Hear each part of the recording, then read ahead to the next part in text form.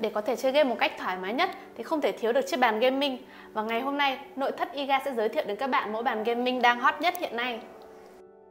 Tổng quan về thiết kế, bàn được thiết kế hình chữ Y, mặt gỗ MDF phủ melamin, chống nước, dễ dàng vệ sinh, hơn nữa còn chống mối mọt, cùng kích thước tiêu chuẩn, dài 1m2, rộng 60cm và cao 75cm. Phần khung thép được thiết kế chịu tải lên đến 100kg nên các bạn hoàn toàn có thể yên tâm với thiết bị chơi game dù ít hay nhiều của mình.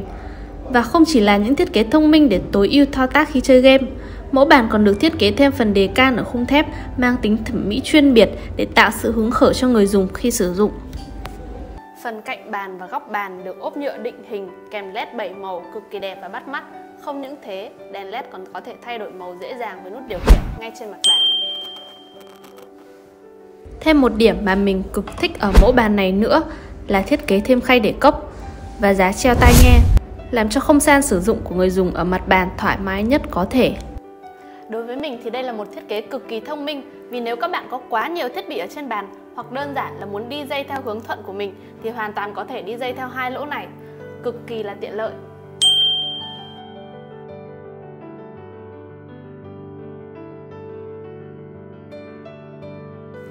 Và nếu các bạn muốn mua mẫu bàn này thì đừng quên truy cập website iga.com.vn hoặc đến trực tiếp showroom của nội thất IGA tại địa chỉ 64-28B, Hương Lộ 14, phường 3, quận 11 để có thể xem và trải nghiệm thêm nhiều mẫu bàn gaming khác nha.